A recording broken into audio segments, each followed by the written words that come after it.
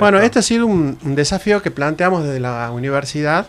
Eh, recién decías que septiembre era el mejor mes y para nosotros es el mejor mes porque además de cumplir año, que es el aniversario de la universidad, el 17 ah, de septiembre, ¿eh? Qué lindo. sí, eh, es una semana que eh, para nosotros tiene un significado muy particular porque celebramos un aniversario más.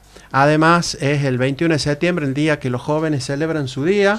Y también justo en esa semana, del 18 al 22, llevamos adelante este primer congreso, que es importante decirlo, que se va a desarrollar en nuestro país que le hemos llamado de gestión ambiental porque queremos poner el, foco en lo que es la gestión y no en las cuestiones estrictamente académicas.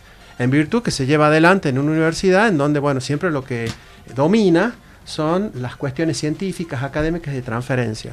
Es un congreso que le hemos llamado interamericano e interdisciplinario porque sabemos que el ambiente es una dimensión que nos atraviesa a todas las profesiones, a todos los ámbitos. Y bueno, lo llevamos adelante en nuestra universidad con un trabajo mancomunado que hemos hecho con todos los actores, tanto de la provincia a nivel de municipio, a nivel de provincia, del gobierno provincial, municipios del interior y también con la participación y el apoyo de Nación no es un tema menor por las cuestiones que nos están tocando vivir.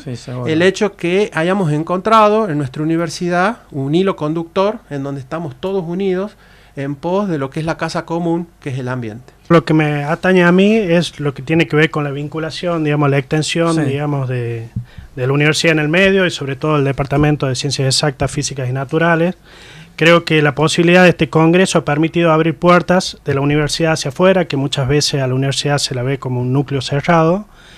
Y digamos, esa posibilidad de hacer convenios con distintos organismos, tanto nacionales como internacionales, nos permite cumplir con la misión de la universidad, que una de ellas es la extensión. Entonces creo que eso es lo principal.